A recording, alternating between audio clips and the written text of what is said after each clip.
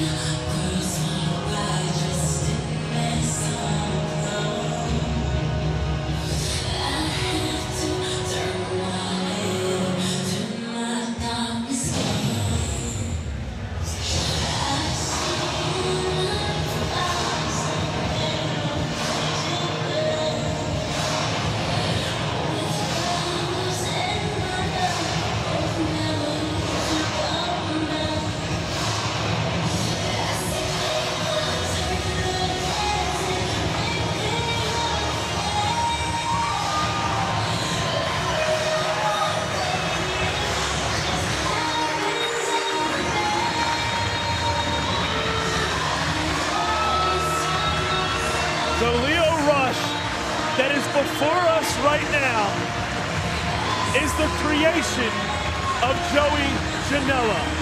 This battle created the Blackheart that we have in front of us right now.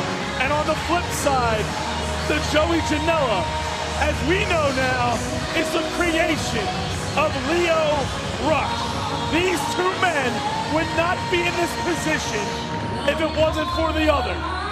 As much as they hate and despise each other, they are the reason they both exist here inside the combat zone. The question now, Dan, which one of these men will be able to kill their own creation?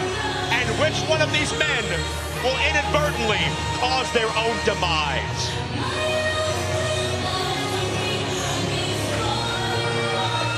Lio Rush with these mind games. And it looks like they're not really having much of an effect on Joey Janela. Or if that's just Joey Janela playing his own set of mind games. We've talked about it before. Lio Rush is an aura, an embodiment, a mentality that exists beyond his physical presence.